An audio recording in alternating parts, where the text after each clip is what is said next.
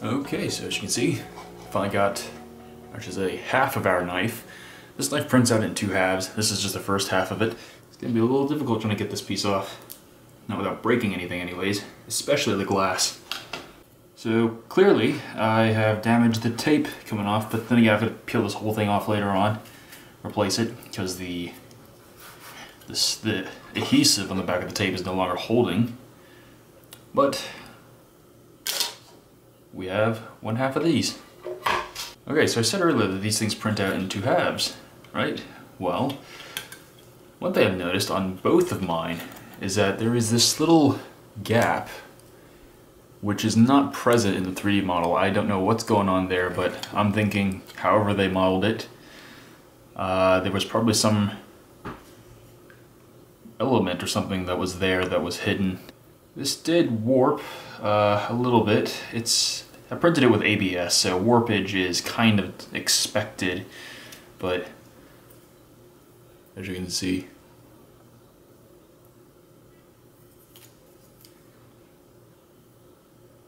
just a little bit of warpage, but eh, I can put up with that. Of course I want to put these two halves together with some expanding glue, so the, hopefully the clamping pressure will actually help alleviate some of this Get this thing glued together and we'll see how well it holds up. Alright, so I got the two halves glued together. I just used some Gorilla Glue, clamped it, let it sit overnight. Uh, feels solid enough, certainly thick enough. Not the most comfortable thing to be holding, but let's uh, try this anyways. What I've got here is just some regular packaging cardboard. And uh, let's see this pierces. You know, it would actually help if I held the chair in place. You know, let's pull the cardboard in place and uh, see how this... Eh, why not? Probably the cardboard didn't have that much give to it. It would probably go much deeper than that, but... Oh. Looks like we've actually lost the tip a little bit. See if I can get the camera in focus. See, every time I record, someone always wants me.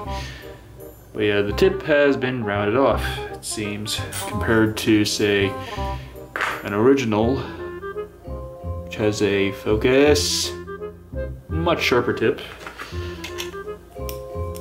Yeah. So definitely this thing being made out of paper would be much stronger, because ABS, quite frankly, is a little bit on the brittle side. But you know what? In terms of piercing power, I think I've got a better idea. Let's try this.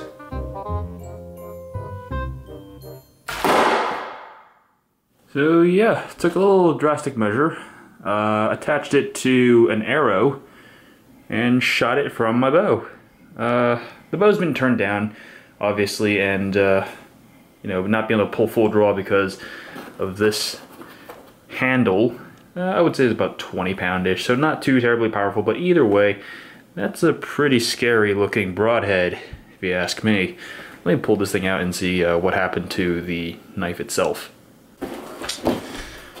Okay, so what the the okay, I see how it is. So that's how we're gonna play, huh? Um, eh. It's kind of hastily fashioned together with some plumbing tape or painter's tape, but it did the job. Arrow's okay. The knife, on the other hand, the tip is gone. Part of the edge is rolled over on itself right here. Although this is only half a knife. But I can imagine, yeah, more stuff rolled over. So clearly the uh, ABS stuff is not as powerful or as sturdy as, uh, say, being made out of paper, which is kind of ironic.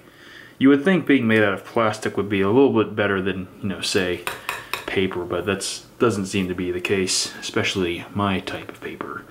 Okay, I'm getting carried away here. Anywho's,